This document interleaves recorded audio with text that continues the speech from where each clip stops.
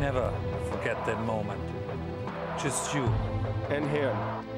In the eyes of the world.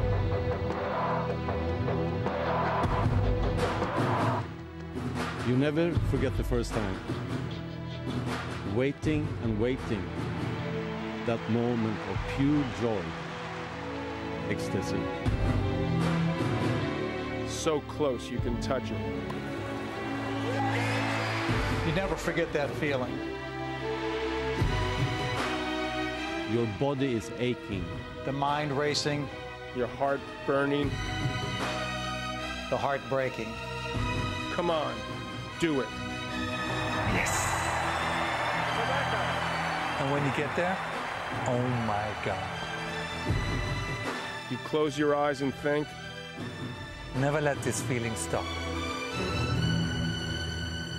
Never.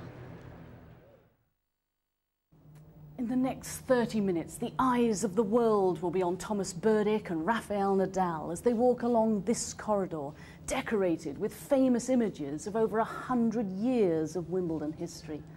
For Berdych, it's a boyhood dream fulfilled to be here for the first time. Nadal has been here three times before. And two years ago, he triumphed in the final no one will ever forget.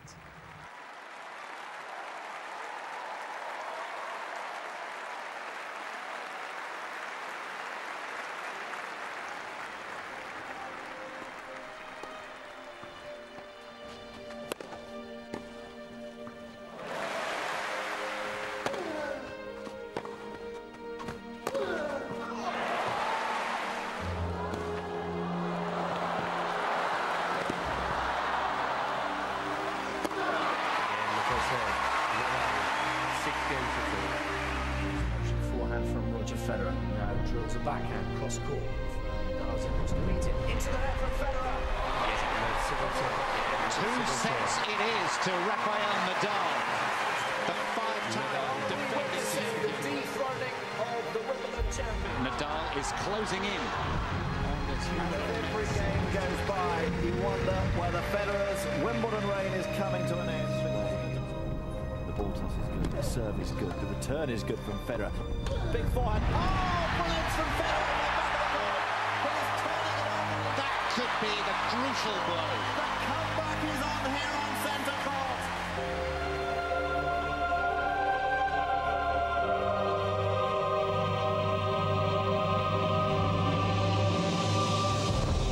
Oh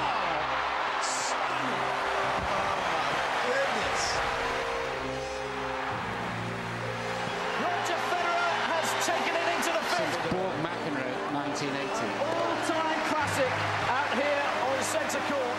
What a decider we are in for. Seen a crowd like this. The crowd can't believe what they're seeing. Now he's got to serve for the Wimbledon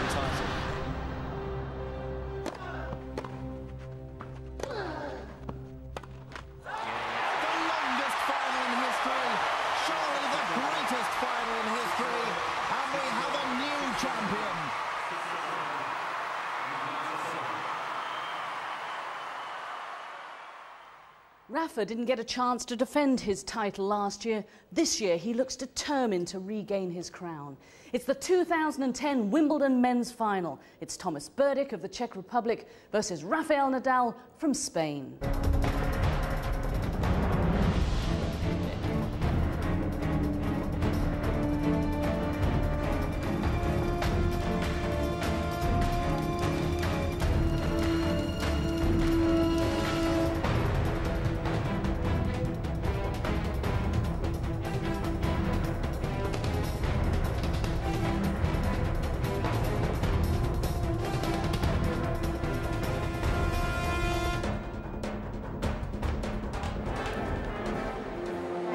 Is a magical day. It's men's finals day. The sun is shining once again, and there's a real buzz all around the grounds here at SW19. Yes, that is the hottest ticket in town. Those who are lucky to have a centre court ticket will enjoy the spectacle. Some are on Henman Hill as well. But this man, it's a whole new experience for Tom Berdych. Rafa knows exactly what to expect. Well, the players are here. The spectators have arrived. And I tell you, they'll be enjoying everything on court. They have favourites on court. Yeah, and they have favourites off it as well. A fantastic day ahead. And I'm delighted to say that joining me here on centre court, well, they need no introduction, do they? Bjorn and John. And I think I have an apology to make there, but make you guys watch that, and it's the greatest final ever. and yet, look at what you guys produced. Well, I was looking at that, and I, I have to agree. That was the greatest final ever. Me and John, we joking a little bit, but I think we, we, we played a pretty good final too, though. But oh, absolutely. I. I had we had a few records. He had a lot more than I did. I lost them all, and I thought I could maybe hang on to something, just one record.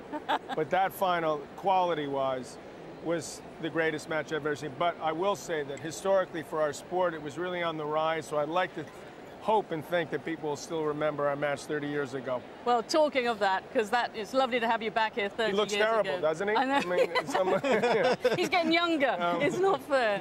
No, but it is 30 years ago when these two provided one of Wimbledon's greatest moments. Let's re- enjoy it once more.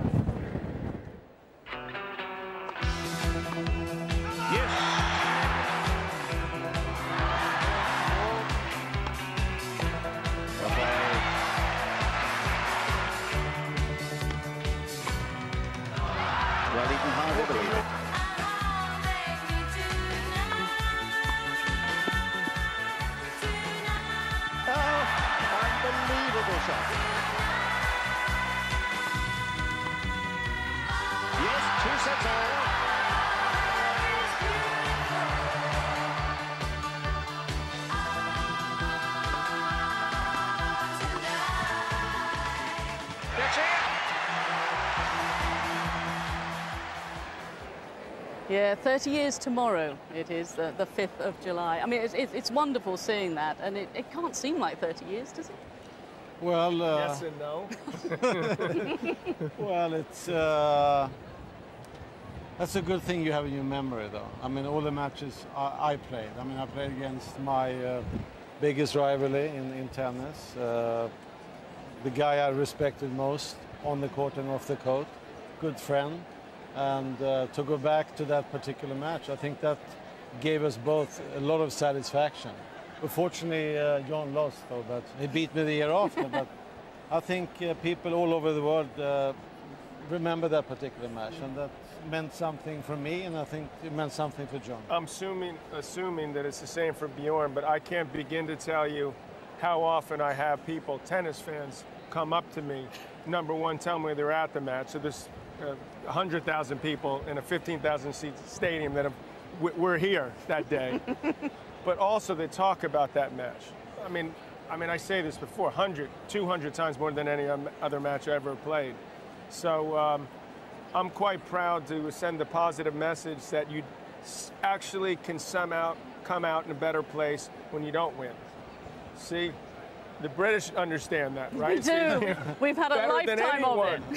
so this, there's still hope because I came out better with the, the press, which was amazing. They actually threw me a bone. The fans, but most importantly, the players. You know, I really felt like they looked at me in a different way. And it was thanks to this guy um, because early in my career, he took me under his wing and, and accepted me. And that meant a lot. A lot of people saw that the other players in the locker room, that I was a little crazed at times. But when it really got down to it, we, uh, we got it done on the court. Hopefully brought the sport to a little better place.